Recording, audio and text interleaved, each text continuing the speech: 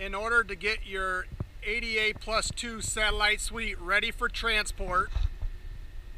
Currently the unit is on the ground.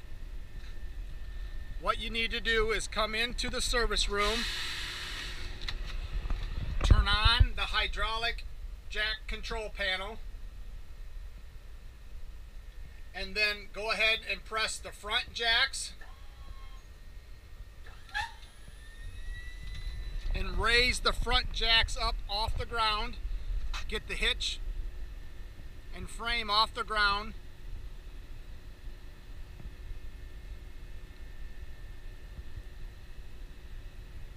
And then after you go so far go ahead and hit the rear button